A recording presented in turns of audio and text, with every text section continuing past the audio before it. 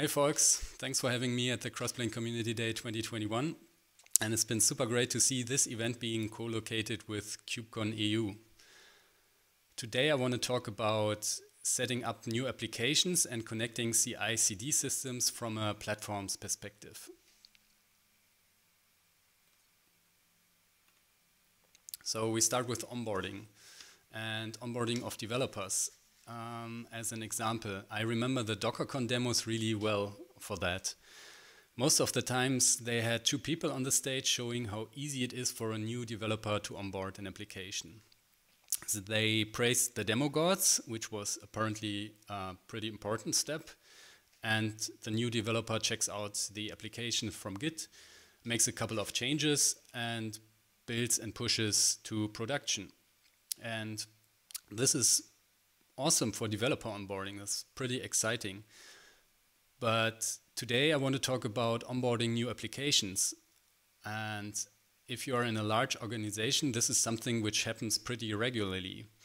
And there are usually lots of manual steps like finding the correct place, setting up Git repos, connecting CI systems, deployment manifests, etc., etc. And as a platform team member, that is something which we want to automate. So let's take a closer look at onboarding new applications. Um, we want a couple of things like a location to store the source code, a continuous build setup, an artifact repository for the container images, a continuous deployment setup, and uh, nowadays also a GitOps setup. And there are a couple of different systems involved uh, namely a Git repository, obviously, an execution environment to run all those things, and nowadays a GitOps software, which is a control loop to from the Git repo to the execution environment.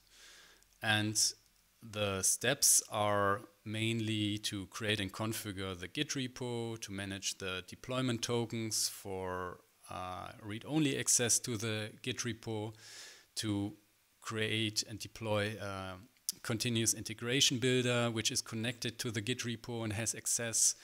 Uh, obviously, the application needs to be deployed. And for the GitOps software, we also need to connect the Git repo, we need to connect the execution environment, and we need to create an application in the Git repo, in the GitOps software, which connects those two things. So we can do that manually but we can also use APIs for that. And there are a couple of systems. I've listed some of the popular ones here. For example, GitHub, probably everybody knows. There's also GitLab and Bitbucket, which offer an API for Git repos. Uh, for the execution environment, there's Kubernetes, because we're at the KubeCon event here. And for GitOps, there's Argo CD and Flux, which are pretty popular. And all of those offer an API for configuration. And in theory, we can implement those APIs in a custom software, which automates the steps mentioned on the left. But how should we and where should we start with that? So since we are at the Crossplane community event, um, we will use Crossplane for that, and Crossplane has the feature of providers which implement arbitrary APIs and mirrors them into Kubernetes. And this is really helpful because we now have drivers for each of those APIs and are able to configure the systems in a standardized way via Kubernetes. So for example, we create a YAML file for the Git repo, a YAML file for the Argo CD application, and so on and so on. So that's really great, but we still need to know what to put in those YAML files. And since they expose everything the upstream API offers, it may be a little bit too much for us. So how can we provide a better onboarding experience? Enter cross-plane compositions. A composition is a templated resource which acts as a controller and creates from a single YAML file several other YAML files, uh, uh, easily speaking. And in cross-plane speaking, speak, it's an, an, XRC, a composite resource claim. On the lower left, there's an uh, example here, and this one is namespace scoped. And whenever an XRC is created by a team, a controller will create the cluster scoped XR, the composite resource, which creates and keeps track of those single CRs, which are then reconciled by their respective provider. For example, the provider GitLab for the GitLab API. And now let's take a look at the demo with all those things together. Uh, what we see here is a composition, and this composition basically creates all those single CRs when it's invoked by an XRC. And we see here we create a GitLab project, a deploy token to connect to the project. Uh, we deploy a GitLab CI runner, an Argo CD repository, and an Argo CD application as well. And this is the XRC, which is created from us. Um, from basically, this is the API surfacing to the developer who wants to create a new application. And the only field we chose to make um, configurable is whether the blueprint, which will be uh, imported into this new repository, whether that would be a Java blueprint or uh, something else. And in this example, it will be a Spring Boot Java blueprint. So when we deploy this XRC, we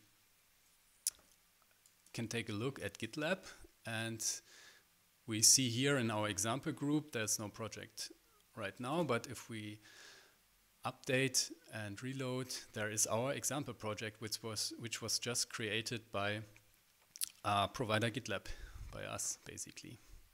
And if we can, if we go into it, we see there's our blueprint Java service, which is basically listed here. And we can also see, since we want to deploy a GitLab runner, we can also check if the runner was deployed. Yep, 10 seconds ago. And this will start and connect to gitlab.com. And we should be able to see in the CI/CD settings our runner very shortly. Here it is already. Um, this is our freshly deployed GitLab runner and we can start using it. So let's check out the repository. So we write back the URL to the status of this above resource so we can easily use it in other fields. All right, here we do have our Java application. Now let's make a simple change and change this to Crossplane Community Day. Save that and commit and push.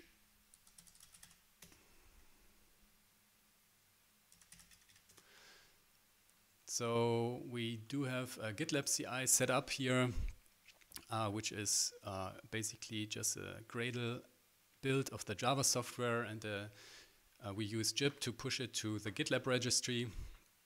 So if we go back here, we see, yep, there was a new runner being spun up by GitLab, which will now execute those steps. And if we go back into our overview, we can see the pipeline run.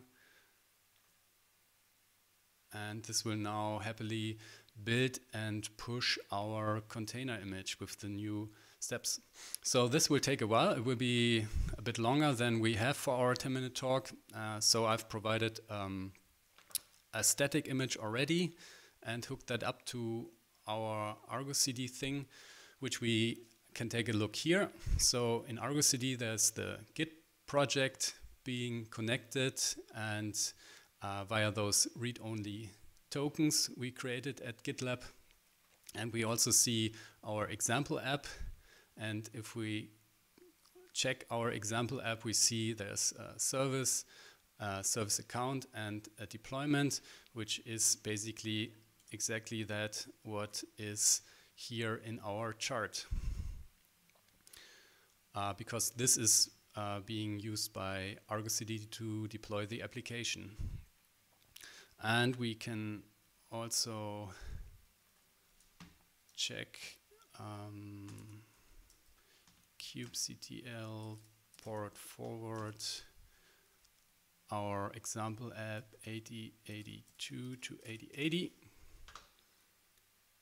and take a look what we will find at 8082. That worked, obviously. Okay.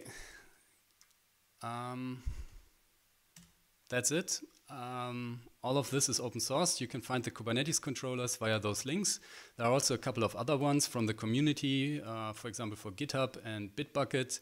There are also some folks who use Flux instead of Argo CD, so the choice is really yours. And if you want to get in contact, you can find me on Twitter or Crossplane Slack. That's it. Thanks for listening and uh, have a great community day. Bye bye.